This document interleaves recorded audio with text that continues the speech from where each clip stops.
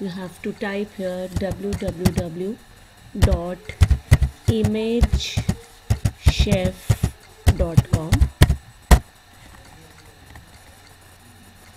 you can see this page. Uh, you can see a mosaic here. You can click here. Will this page will open. You can see one mosaic is here. Now what you have to do is uh, you can choose different shapes from this particular point. It can be star shape uh, a drop shape. If I choose a drop shape uh, I can select a text which I want to be written inside. So if it is save water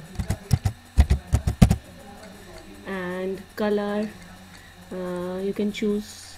I can choose any color. I'm choosing blue then I can choose a background. I can choose any background. I'm choosing uh, purple background. Then font of the text which is to be written inside. I'm choosing this font. Then uh, I'll preview. You'll get a text in the form of a drop. Uh, if you want to change the colors you can change the color here I am making it background black.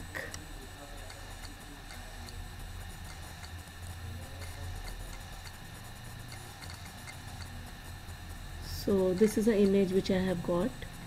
Uh, what you can do is you can uh, either share it through Facebook share it on Twitter.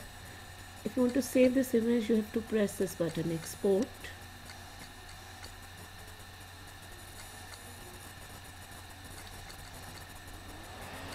this is an image which is there you can right click on the image save image choose the destination.